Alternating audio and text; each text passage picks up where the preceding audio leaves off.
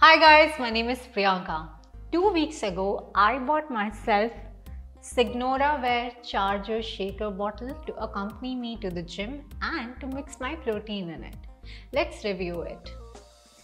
This is a stunning looking shaker bottle which is perfect for mixing protein drinks at the gyms or for carrying energy drinks.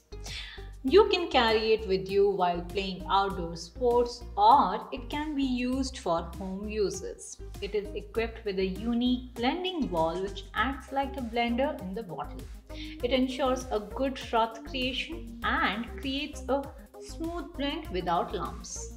The bottle has a 750 milliliter holding capacity and a measurement scale to correctly measure ingredients before making the drinks. The screw tight lid ensures that the bottle is 100% leak proof. It is also equipped with a flip cap, making it pretty easy to use. The shaker bottle is available in multiple variants such as Charger Shaker 750 ml, Maxo Shaker 800 ml, Rock Shaker which is 750 ml in green, Rock Shaker 750 ml which is in red, Sport Shaker Plus Whisk which is 650 milliliter in blue and the Sport Shaker Plus Whisk which is 650 milliliter in red. So you can take your favorite pick.